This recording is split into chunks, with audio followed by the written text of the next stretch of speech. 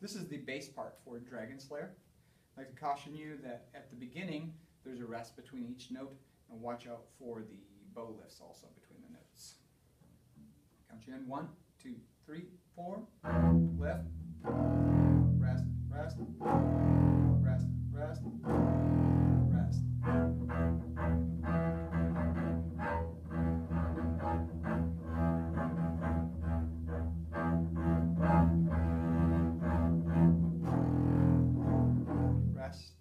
three,